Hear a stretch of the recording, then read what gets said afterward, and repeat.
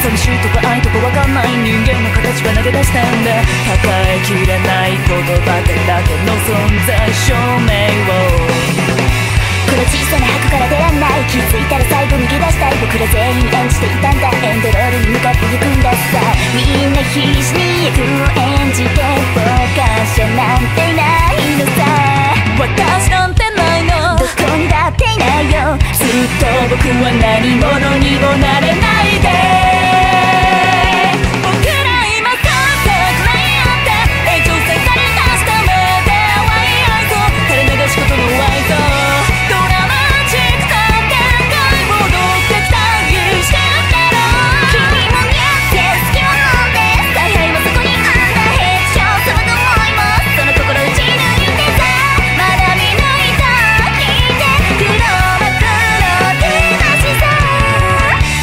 の目に映るのは。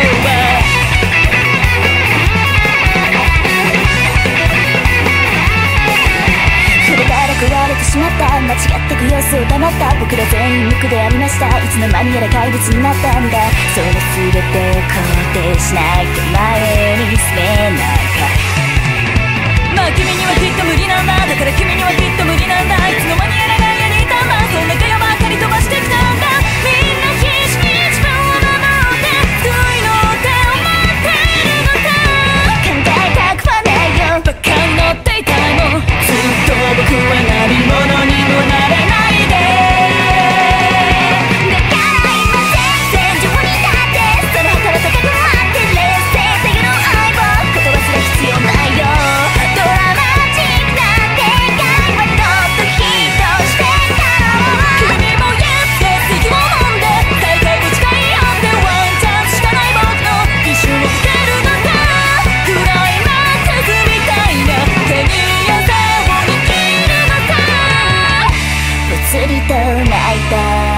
隠してきた本当はどこにもない。笑ってきた奴らに場所はない。思い出してポイてして感情はない。慣れした涙理由なんてない。優しさ